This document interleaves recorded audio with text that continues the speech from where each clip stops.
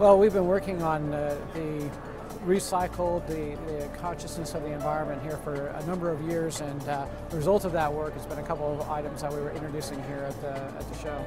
Starting here with, uh, with this item, there's been increased um, awareness of or concern about BPA, which is bisphenol A. It's a chemical that can be released in polycarbonate, and some people have been concerned about that, so we wanted to give consumers a choice by developing a product that didn't have that material. So we've been working with a supplier of the resin. It's a brand new resin. It's a brand new material that doesn't have any of that uh, material in it. So again, people who are looking for a product without BPA, they could buy that. This um, really was an interesting challenge uh, for us, uh, trying to make a product that could be recycled as well as recyclable. So we're taking actually consumer recycled polypropylene, turning it into you know a new product again. Part of being you know true to our message is also you know making sure that packaging is minimal too. So the whole footprint around this, the energy footprint, we're continuing to study that, but to make sure that it's as minimal as possible.